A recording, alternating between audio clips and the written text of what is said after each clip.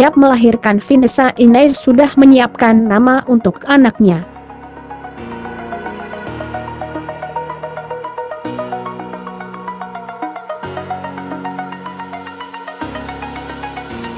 Selama hamil, keinginan Vanessa Ines menyantap makanan favoritnya, pempek lenjer semakin sering dibandingkan sebelum hamil.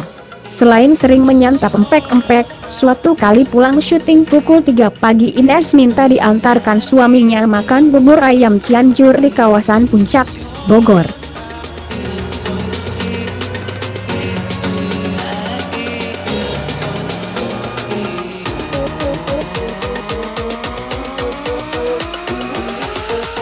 Sebenarnya kalau enggak dituruti suami juga enggak apa-apa, tutur Ines yang menyebut anak pertamanya nanti berjenis kelamin laki-laki dan sudah menyiapkan nama untuknya.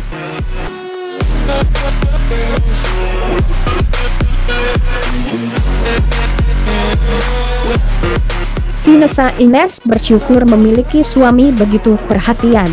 Bahkan Ines dilarang tidur dengan posisi menyamping oleh suaminya takut mempengaruhi kondisi jabang bayi di dalam kandungan. Sebenarnya enggak apa-apa juga tapi dia sangat khawatir, jelasnya sambil tertawa. Vanessa Ines menikah setelah genap berusia 20 tahun pada Maret lalu dengan Ryan D.